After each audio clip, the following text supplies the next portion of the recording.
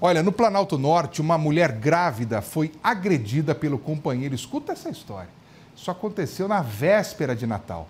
Essa mulher, com a gravidez de risco, ela foi encontrada inclusive com algumas perfurações no peito. O Maicon Costa está de volta agora para atualizar para a gente essa informação.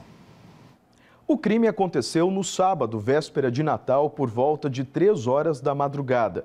Segundo o Corpo de Bombeiros Militar de Mafra, a mulher, que está grávida de seis meses, foi atingida após uma briga do casal. Ela foi encontrada na frente do imóvel, deitada e com perfurações na região do tórax. A vítima foi amparada por familiares e também pela Polícia Militar.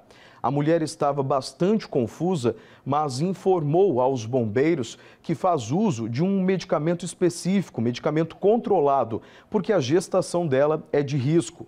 Após ser socorrida, ela foi levada para a maternidade de Mafra. A polícia vai investigar o caso.